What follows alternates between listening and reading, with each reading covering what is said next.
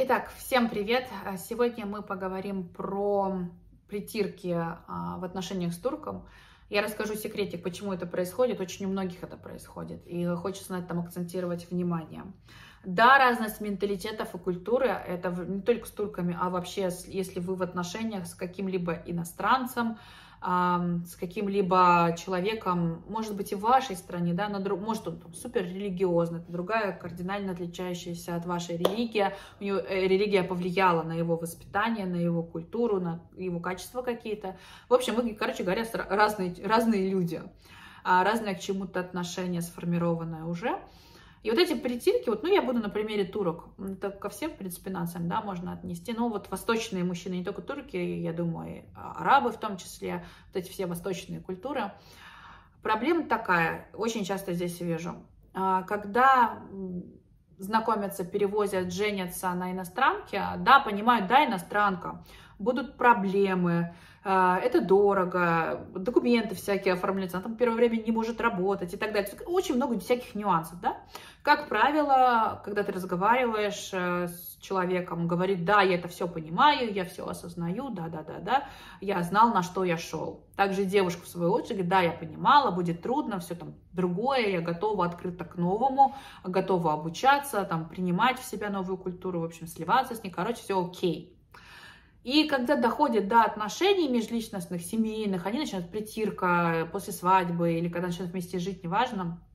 Это, конечно, в бытовухе проявляется, но на самом деле, это, конечно, уровень бытовой это только показатель, а все происходит на внутреннем эмоциональном моменте. Каким бы иностранцем вы ни встречались, или какой бы турок с какой иностранкой, с какой страны не жил, э, я просто знаю, для примера, а, у меня есть сосед, а, итальянец, и жена у него турчанка. Он здесь уже живет 15 или 20 лет, очень давно. Он говорит прекрасно по-турецки, но все равно у него остается немножко, немножко чуть-чуть итальянский акцент. Он выглядит как итальянец, он даже себе подводит карандашиком черным смоки глаза. Такой мачо такой с хвостиком, в шляпе гоняет. Ну, короче, такой прикольный чувак, кстати, очень хороший чувак. А вот он очень уже как турок, но он все равно итальянец. Я с его женой общался, они были раньше в моем старом доме, соседи наши. Затем я знаю э, турчанку, опять же, которая в отношениях э, с парнем афроамериканцем здесь. Тоже на районе живет. Ну, у нас в семье есть иностранцы, в принципе, у нас есть греки тоже. Ну, в общем, короче говоря, вот это про общение интернациональное и про турецкий менталитет – я вот это общаясь с ними заметила историю. Мы все равно, неважно, где живем, с кем общаемся, избранник из какой страны и культуры, мы все равно автоматически, стереотипно ждем от него действий, которые были с мужчинами в нашей стране. Также он ждет от тебя поведения автоматически, понимая, что ты иностранка, принимает, как вела бы себя турчанка. То есть мы как, мы ждем цветы на 8 марта, на день рождения, важность Нового года, а, подарки какие-то знаковые, да, а, что еще? Ну, это из первого, да, с чем девочки обычно придирают. Цветов мало дарят, или там не всех семьях в Турции принято, если кто дарит цветы, если не дарит вообще, по-разному бывает, да.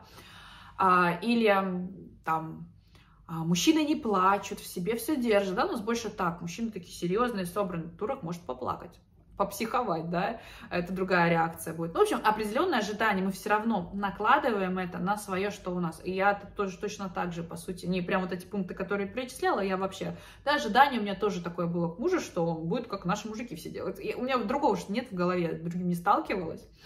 В свою очередь, проблемы здесь терки какие? Он ждет, что ты будешь как турчанка. Ты знаешь, где промолчать, а где сказать. Ты знаешь, как себя вести с его родителями, что уместно сказать, что уместно сделать, а что неуместно.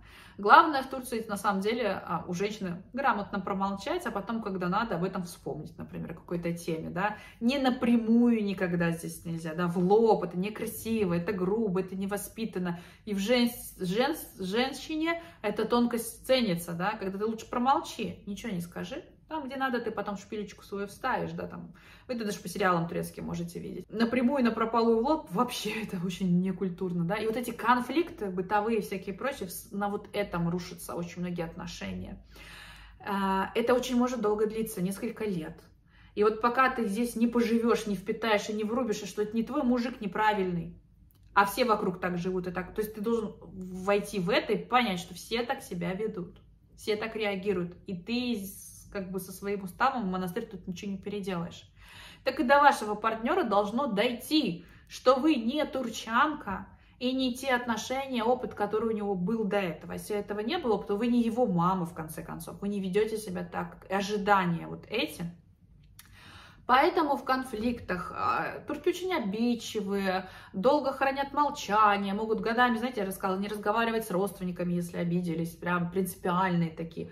Они могут быть э, нервными, истеричными, кричать э, эмоциональными, могут быть плаксивыми, турецкие мужчины могут плакать и ныть, вы это тоже и по сериалам, по каким-то курортным романам можете знать, да, когда мужчина много говорит о любви, они такие эмоционально открытые, может реветь, не сдерживать может кто-то сдерживать Турки есть выпивающие. Поругался, пошел побухал. Такой тоже здесь есть, да, там виски, раки или пиво и так далее.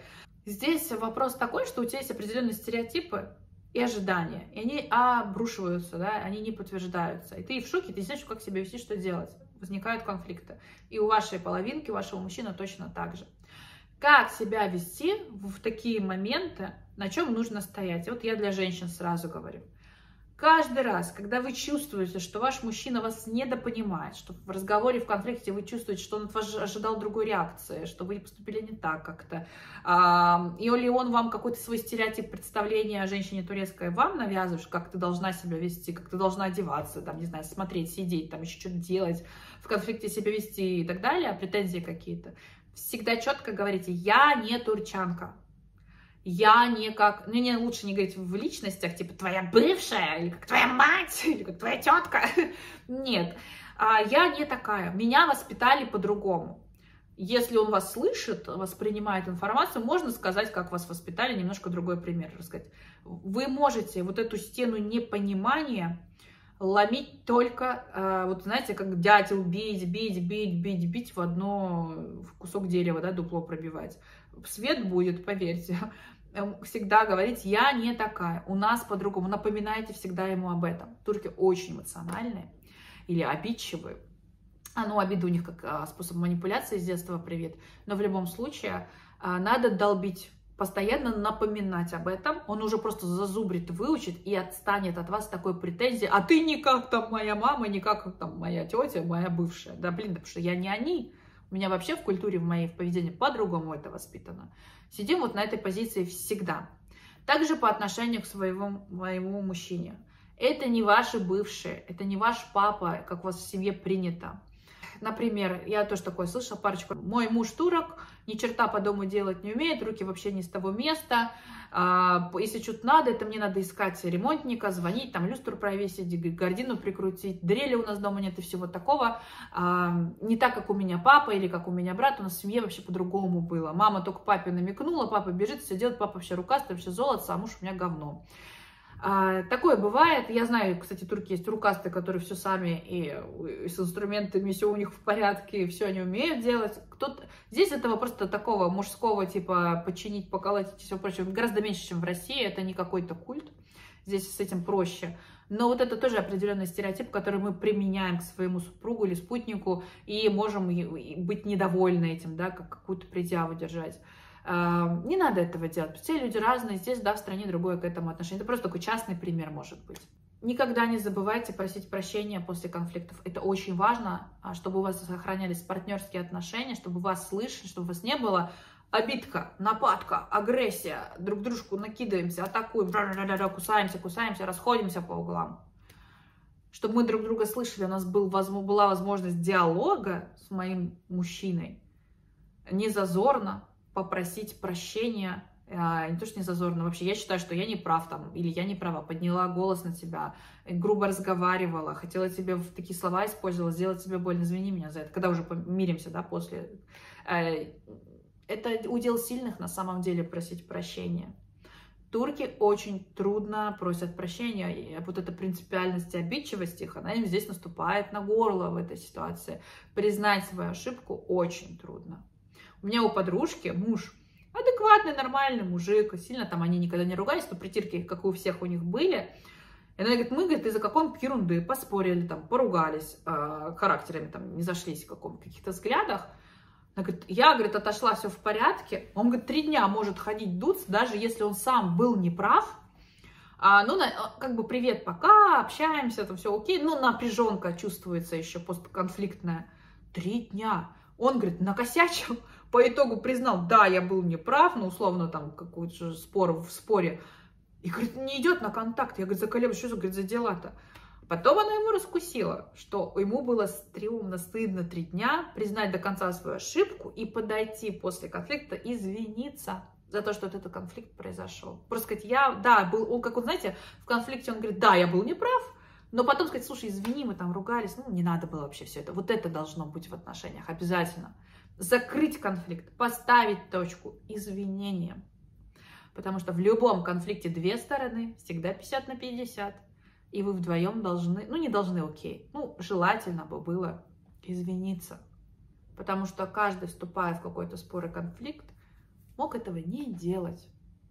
И не там, конечно, один кто-то прав, кто-то нет, но в общем, короче говоря, чтобы у вас сохранялся диалог с партнером, и вы слышали друг друга, а не закидывали только обвинениями, неприятными ощущениями, эмоциями, высказывали свои претензии, обиды. Для этого надо просить прощения, учиться это делать. Не будете делать, вы погрязнете в обвинениях, и ваш брак, ваш союз развалится. Или вы будете жить, вот таких очень, к сожалению, здесь много, кто живет и конфликтует и с родней, и с мужем турком, и не, вообще блок получается на принятие культуры, ассимиляцию здесь, и все плохо, все не так. И это видно везде.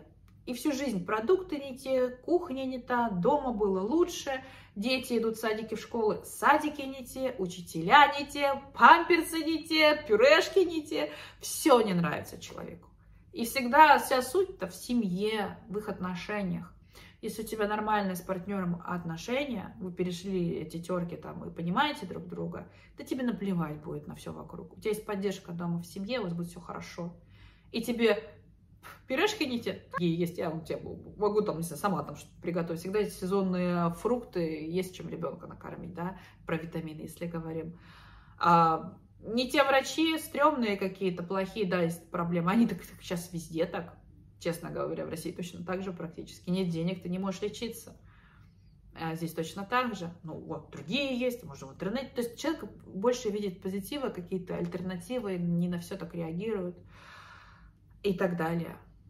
Так что выходите на диалог обязательно со своим партнером. Не а, ждите от него реакции стереотипного поведения, как было поведение у мужчин в вашей стране. Культура другая, воспитание другое. Это очень сильный отпечаток дает.